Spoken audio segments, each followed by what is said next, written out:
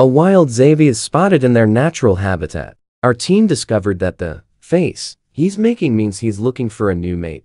Even though he has the entire Ouran High School host club, the guys from Kiss Him Not Me and Hori. They have discovered a new anim and he's ready to watch it.